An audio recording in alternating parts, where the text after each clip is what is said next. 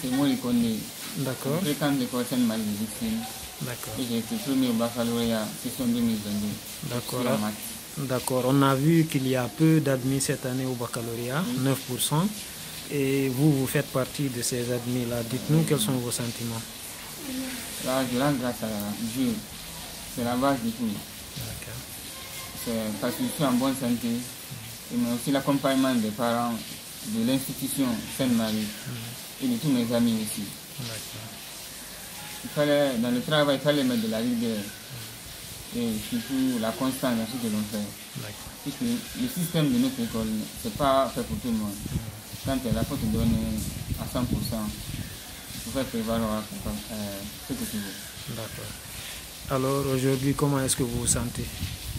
Je suis bien. D'accord. Ah, je suis content. Je suis d'autant plus fier parce que j'ai rendu fier aussi un bon nombre de personnes. La famille du village, ceux qui sont là, les amis, l'institution, tous ceux qui me connaissent. Parce qu'ils savent déjà que je vous laisse cela depuis. D'accord. cette place. D'accord. Alors, dites-nous comment est-ce que vous avez fait pour être premier de la République en sciences mathématiques? Ah, là, il faut garder les révisions constantes. D'accord. Réviser régulièrement et se faire un planning aussi. Parce que l'année scolaire en Guinée, c'est entrecoupé. Les programmes ne sont pas bien fixes. D'accord. Donc il faut s'adapter un peu à tout cela aussi. Et faire du travail à la maison, c'est presque la moitié du travail. Parce qu'à l'école, on donne, on donne pas tout. Il faut faire un travail sur le quotidien. D'accord. Aujourd'hui, vous êtes admis, vous êtes même lauréat. Qu'est-ce que vous comptez faire à l'université?